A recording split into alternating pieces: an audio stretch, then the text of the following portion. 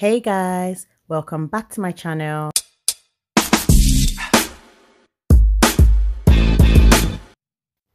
Today, I am going to show you how I achieved these beautiful jumbo twists.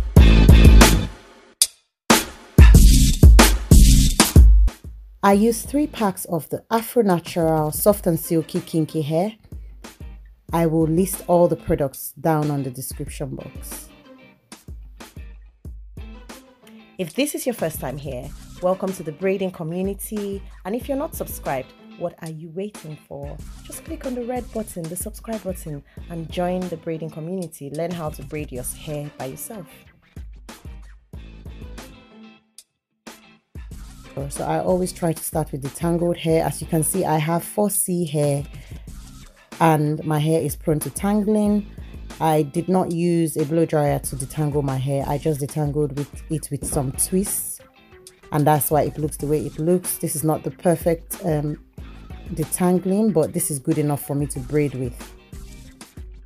Whenever I start a braid, I always try to start with a braid and then twist. Some people like to start with a twist from the bottom, but I see that, I find that it can um, hold on to my roots too tight and cause breakage. So I would braid it a little and then I twist it. So that is exactly what I've done here. So I did a few braids and then once it was anchored, then I began to twist. If you watch my video, when I did the spring twist, I used the same technique. You could also use a clip to hold the hair to prevent it from twisting too much. So because I was doing jumbo twists, I didn't really need to use a clip because it was big enough and it wasn't really twisting.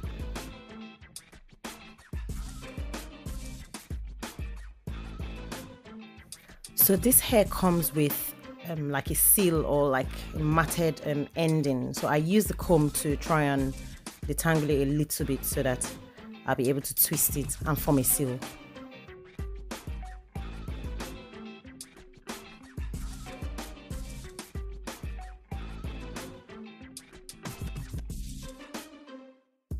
So like I said earlier, braid a few times and then once it's anchored, begin to twist.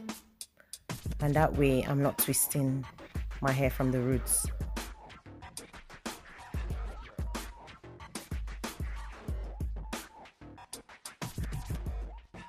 So like I told you, I literally need to detangle the ends of the hair so that when I'm twisting, I'm able, it's able to form a proper seal.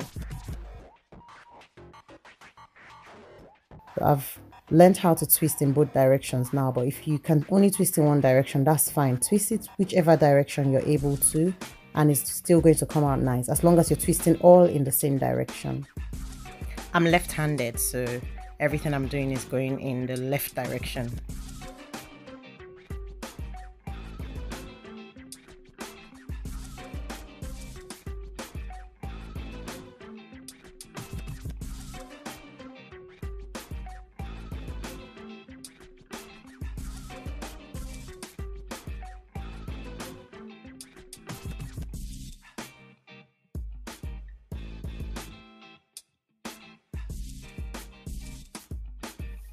So before I do my braids, I always ensure that I start with washed hair and moisturized hair.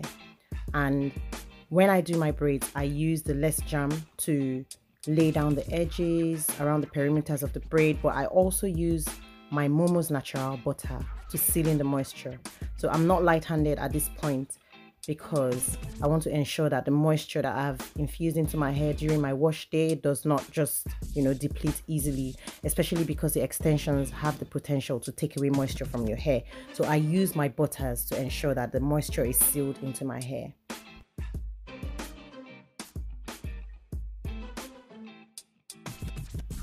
Please use clips. I find that I really don't use clips often. Actually, I try to form the habit, but I find that I I'm used to doing my hair without clips. I started braiding my hair when there were no clips, so clips is almost like an added um, work for me. But clips actually help you when you're braiding. People always ask me, how do you get your parts straight? to be honest, I think I just mainly feel with my fingers. I don't try to be perfect. I cut the parts as straight as I can, and I'm especially when I'm filming as well. I feel any flyaway hairs with my finger. I just ensure that the lines are as straight as I can, and that's just it really. Um, I think if you as you practice, you tend to get the hang of it.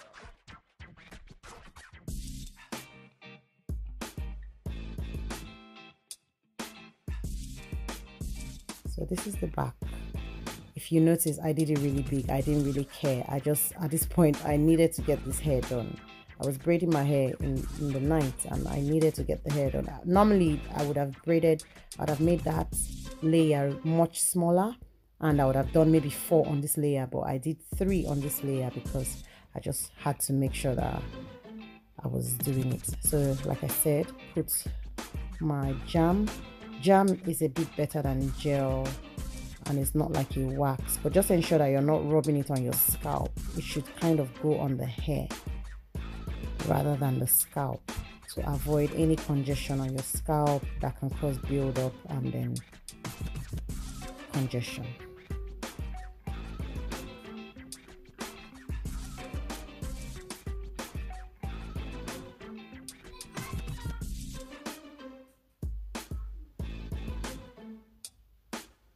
You know that feeling when you have one left? This is how I felt at this point. Um,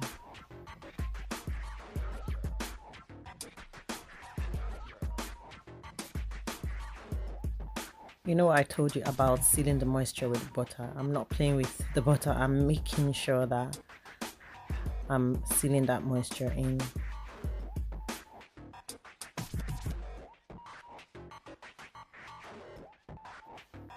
just to give you another angle. So I braid a few times.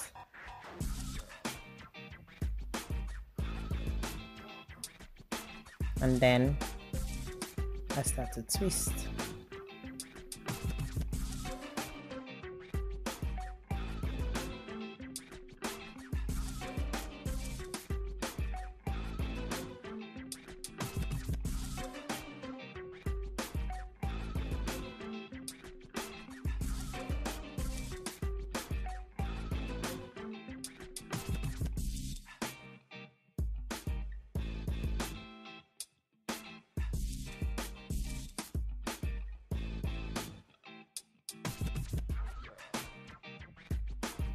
And now I'm finally doing the last one. Yay, nearly done. I never actually counted how many braids I did, but I don't think they were up to 50 because they were done quite big.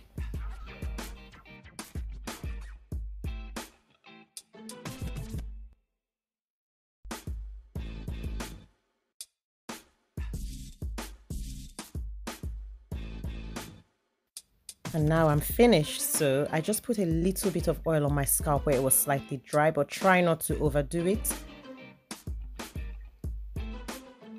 Yeah this was actually a week later because I never got the chance to record um, again. So the next time I was able to record my finished look was a week later and I'm just accessorizing here I use the beads, I just put them around different parts of the hair, and then I'm just using this gold rope. Everything can be purchased on Amazon or in your local beauty shops. Like I said, all the products are listed in the description box. So you can style this hair in different ways. You can put it up in a bun, you can leave it down. It's quite light and it's really versatile and that's one of the reasons I like it is it has a rough look. So i mean even when it's getting old if you brush it it still looks nice but ensure that you're not keeping your hair too long. Guys if you've enjoyed this and if you like the finished look give me a thumbs up and let me know in the comments other styles you would like to see. And i'll see you in the next video. Thank you for watching. Bye